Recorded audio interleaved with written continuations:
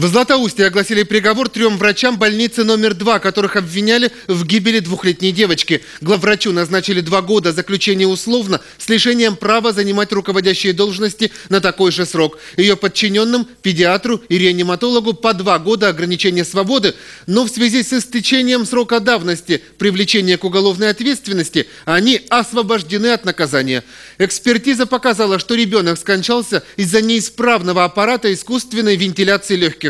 Я пришел узнать, когда меня отвел почему, машину. почему так это никакой помощи-то не оказали, не спасли жизнь девочки. А на что Богданов мне сказал, а ты что пришел разбираться, иди с женой разбирайся. Она медом накормила девочку, она и умерла. Напомним, два года назад, в июле, ночью, девочка вдруг пожаловалась, что ей тяжело дышать. Родители сразу же отвезли ребенка в больницу. Через шесть часов сердце малышки перестало биться. По словам врачей, они долго не могли поставить диагноз. Только после серии экспертиз стала известна причина гибели ребенка нарушением сознания до э, уровня комы, что стало возможным в результате несвоевременной интубации трахеи и перевода на искусственную вентиляцию легких, использования для искусственной вентиляции легких непригодного к эксплуатации аппарата и технического кислорода.